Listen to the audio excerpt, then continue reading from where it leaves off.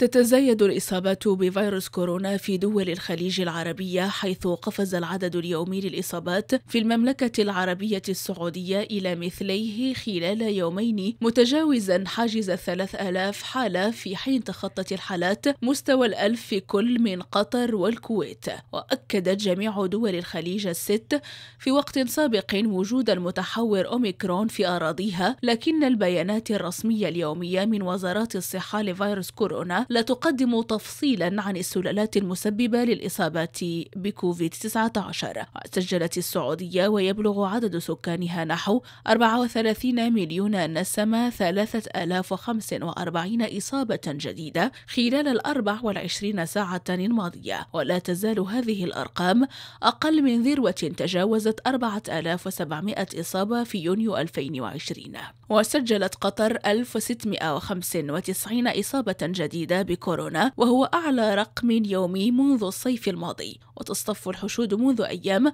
عند مواقع فحص الإصابة بكوفيد في الدوحة التي أعادت هذا الشهر العمل بنظام التعليم عن بعد. وذكر قسم التطعيمات بوزارة الصحة العامة القطرية بأن ارتفاع الإصابات خلال الأسبوعين الماضيين كان مرتبطا أساسا بالمتحور أوميكرون مضيفا أن الإصابات الأحدث كانت بين أفراد لم يحصلوا على التطعيم ومنهم أطفال أو الذين حصلوا على جرعتين ومر على تلقيهم الجرعة الثانية ستة أشهر.